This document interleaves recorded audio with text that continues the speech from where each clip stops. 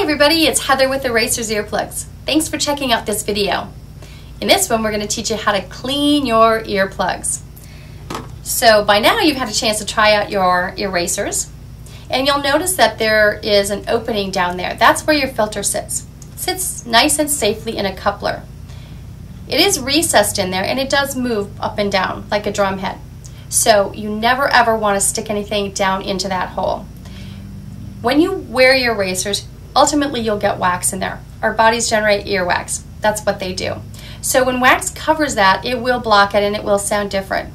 So again, repeat with me, never ever stick anything down into there. It will damage your filter. What you want to do is go ahead and get yourself a soft bristle brush, a lot like this one right here. Now, if you look at our website, you'll notice we have a packet that's great for your wallet and gear bag and purse.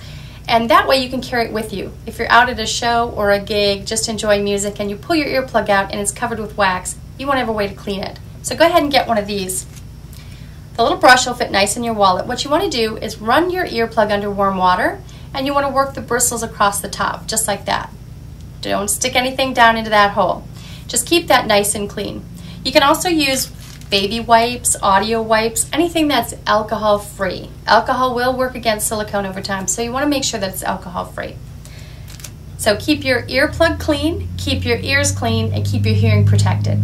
Thanks for checking out this video, and be sure to check out the other videos too and learn more about your Earasers. Take care!